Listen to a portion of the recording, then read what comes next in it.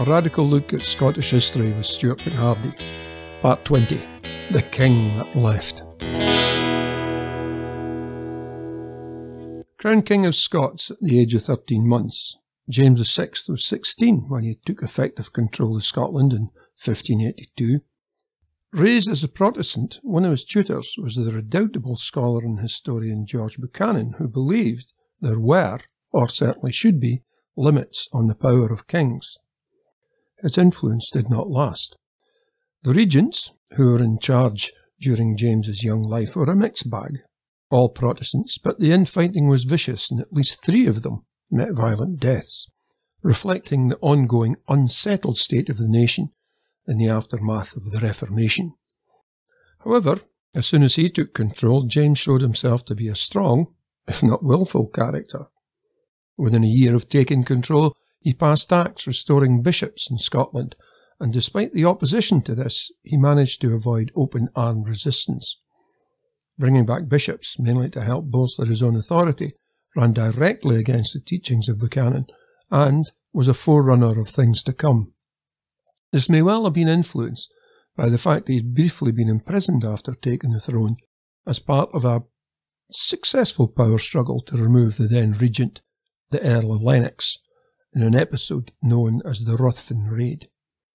It also seems to have influenced his thinking as he began writing about the role of kingship in the 1590s, something which led to the development of the theory of the divine right of kings, which was to cost so many lives over the ensuing decades.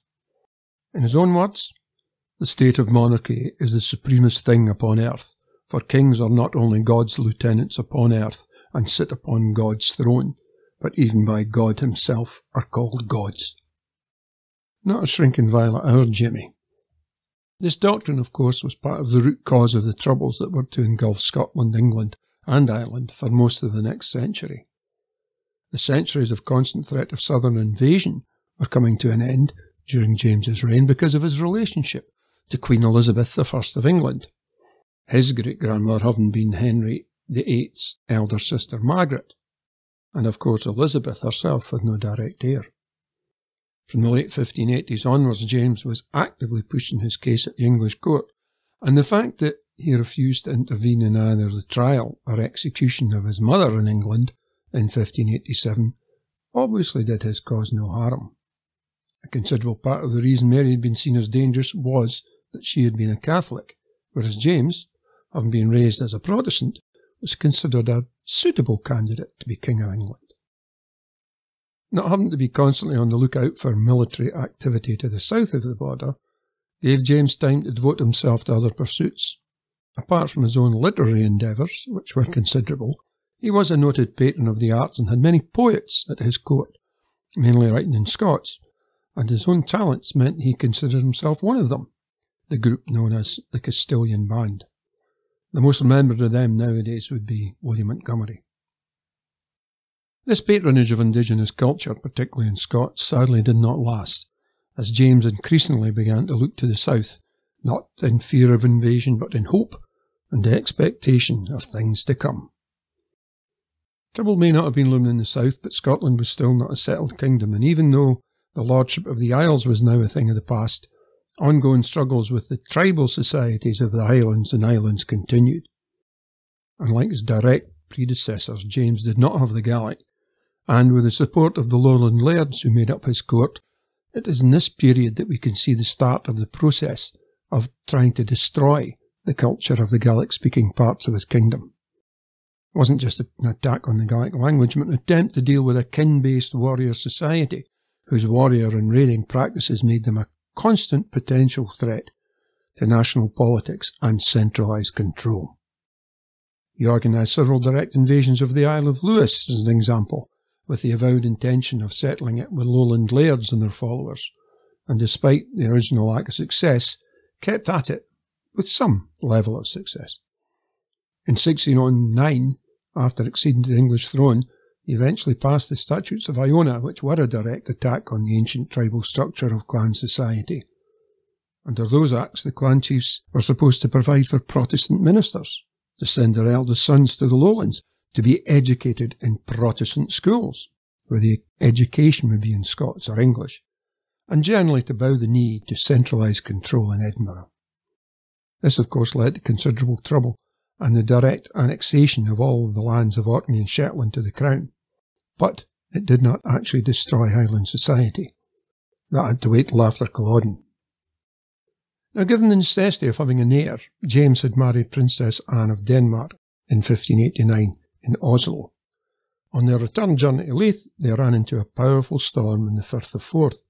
This storm was said to have been raised by a coven of witches based in North Berwick, and James used the 1563 Witchcraft Act to bring them to trial. Now, the persecution of so-called witches in Scotland, which ran from the time of the Act well into the 18th century, is a black stain on our nation's past, a process notable for its religious fanaticism and rampant gynophobia. The king seems to have been particularly fascinated by the subject, even writing a book on the subject called Daemonology, which he had published in 1597.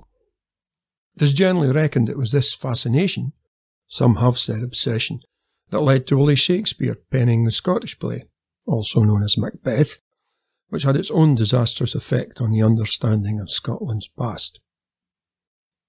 Now, although James's rule in Scotland was not as disrupted as it might have been, there were still deep running feuds and hatreds. In 1600, there was an incident that has gone down in history as the Gowrie Conspiracy. Now, two years after the Ruthven Raid of 1582, in which James had been imprisoned, and in which Queen Elizabeth of England had apparently played a part, he had had one of the leaders of the raid, the Earl of Gowrie, executed. An incident took place in 1600 at Gowrie House, when the Earl's successor, John Ruthven, and his younger brother Alexander were killed after Alexander had supposedly attempted to assassinate the king. That there was bad blood between the king and the Ruthvens is certain, and it also seems that James owed them a lot of money. This episode, known as the Gowrie Conspiracy, has been the subject of much speculation over the years. Rumours did circulate that it was a set-up by the king, but it may in fact be one of those times in history where things came about more because of a cock-up than a conspiracy. By this time, Elizabeth of England was in failing health and approaching the age of 70. She had always been reluctant to name her successor, but it was generally thought that James was the natural choice. To that end, the English courtiers led by Robert Cecil, who had inherited his position as the Queen's senior adviser from his father, were communicating with James, effectively offering him the throne of England on the death of Elizabeth. For sound political reasons, Cecil and his colleagues wanted a smooth transition when the Queen eventually passed on. The underlying volatility of a society still beset with religious problems was to show itself subsequently, but James was as desperate as the members of the English ruling classes to have things worked out. So it was the very day that Elizabeth died, 24th of March 1603, the court immediately moved to have James declared as James I of England.